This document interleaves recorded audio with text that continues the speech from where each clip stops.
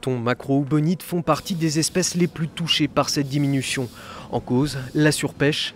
L'appétit de l'homme pour le poisson ne cesse d'augmenter. Sa consommation annuelle moyenne par habitant est passée d'environ 10 kg dans les années 60 à près de 20 kg en 2012. Il y a une zone qui est particulièrement euh, menacée, c'est la mer Méditerranée, qui est l'une des plus anciennes zones de pêche euh, du globe, qui fait vivre les gens depuis des siècles. 95% des stocks sont victimes de surpêche. 89% sont, sont épuisés.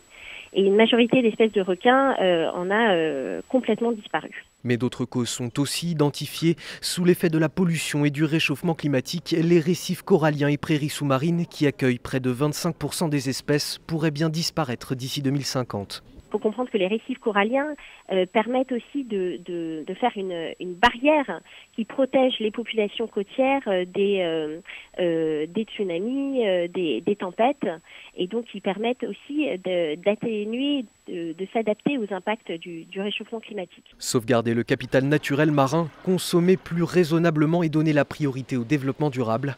Pour WWF, des solutions existent et devront être prises lors de la conférence mondiale pour le climat à Paris en décembre prochain.